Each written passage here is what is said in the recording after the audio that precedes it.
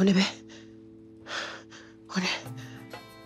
Figen Canlı'nın programına başvuran AÖ'nün şikayetçi olduğu şahsın AÖ'nün dışında tam 8 kadını daha evleneceğim vaadiyle kandırıp paralarını alarak ortadan kaybolduğu öğrenildi.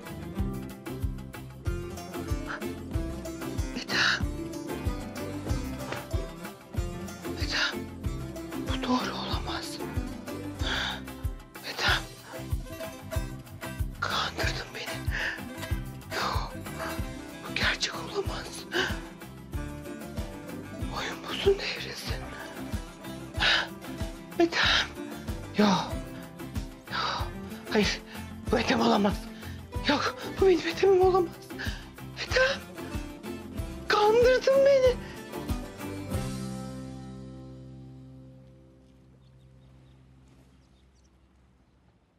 Bu şantiye meselesinde benim burnumu emrine veren birisi vardı. Hatırlıyor musun?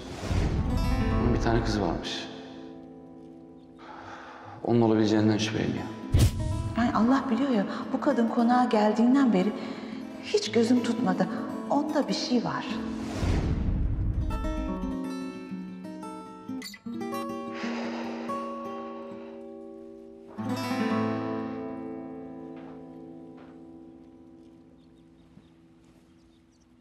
Nazlı?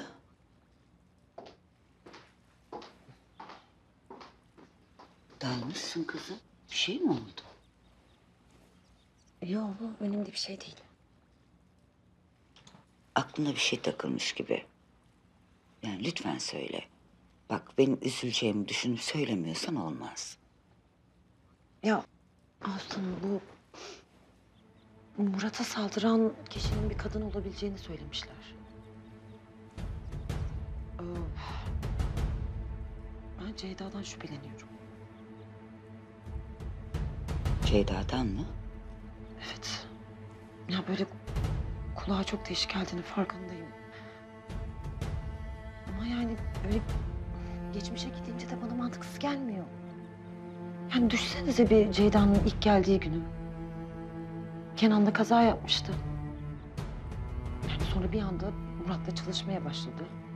Yani Murat'ın bu ihaleye girdiği araziyi de sonra iş ortaklarını falan o ayarladı. Yani o vesile oldu.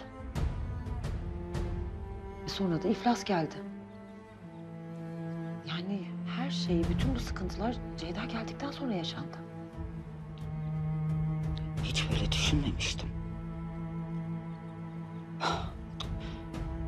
Yani... O geldikten sonra olmaya başladı bütün bunlar evet. Bizimle tanışması bir garipti. Ha şimdi öyle düşününce... Yani her şeyle bir ilgisi olabilir diye geliyor aklıma benim de. İşte ben Murat'a söyleyip söylememe konusunda emin değilim. Ha yok söylemeliyiz. Yani biz biz şüpheleniyorsak o da bilmeli. Ha şimdi zaten bir şey saklayacak halimiz yok. Öyle bir durumda değiliz Nazlı.